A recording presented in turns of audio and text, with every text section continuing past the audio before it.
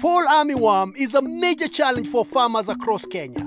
Farmers have tried using pesticides and other traditional ways to manage this pest. PlantVillage, together with Dream Team Agro Consultancy Limited and icipe, have come up with a biological way of managing fall armyworm.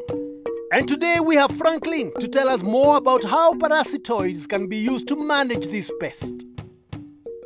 But first, what are parasitoids? We use parasitoids, which are the parasites that kill the fall armyworm eggs, preventing the egg from reaching the larval stage, which is the, the destructive stage. Take us step by step on how this works. Okay, a parasitoid is an, a wasp or a fly that needs fall armyworm eggs so that it survives. So it kills the fall armyworm eggs by laying its eggs inside the fall armyworm eggs. So it needs that to reproduce so that it survives, ultimately killing the fall armyworm egg. And as a result, reducing the population of the what? Fall armyworm. Yes. So what you introduce to the fall armyworm eggs kill kills the eggs Yes. and make sure they don't hatch. yes. And that reduces the population. Of the fall armyworm Uh-huh. and increases the population of the friendly. Ah, the ones that we need in the shamba, Yes. the population increases. Yes. The ones that we don't need, is suppressed now. We eradicate. Okay. So if more eggs are laid, the, the friendly wasp, the parasite, does what? Kills the eggs. it okay. keeps killing and it killing. keeps killing additional eggs. Parasitoids are wasps or flies that lay their eggs in the fall armyworm eggs, thereby stopping the fall armyworm from growing. So, by introducing these friendly wasps, you bring a natural enemy to the fall armyworm. Now this parasitoid does not only kill fall armyworm, but it kills all those caterpillar that belong to the same class as fall armyworm. Mm-hmm. Yes. So it can be used for all the cereals that are attacked by fall armyworm. Yes. How do you use this? So what we have here is the egg card that contains the parasitoids. So this is the card. Wow. This is the card. You can see. These are the parasitoids. So we this card has approximately 10,000 to 12,000 parasitoids.